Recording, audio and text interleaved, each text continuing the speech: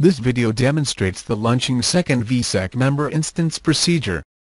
In the Amazon Web Services dashboard, go to EC2 and click on Launch Instance.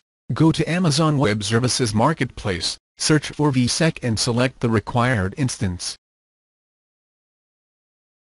Choose an instance type and click Configure Instance Details. We configure the instance with one network card, that will face our external subnet, and configured IP address of this card. Also the instance is configured with the IAM role we created previously for the instance. This is mandatory.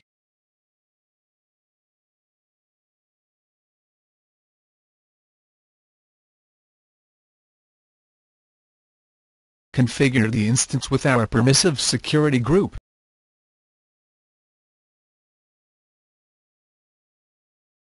Select to use key pair my key, that we created previously to connect to our instance and click Launch Instances. Create another network interface in the internal subnet, and configure it with IP address in the internal subnet, then attach it to the instance you created.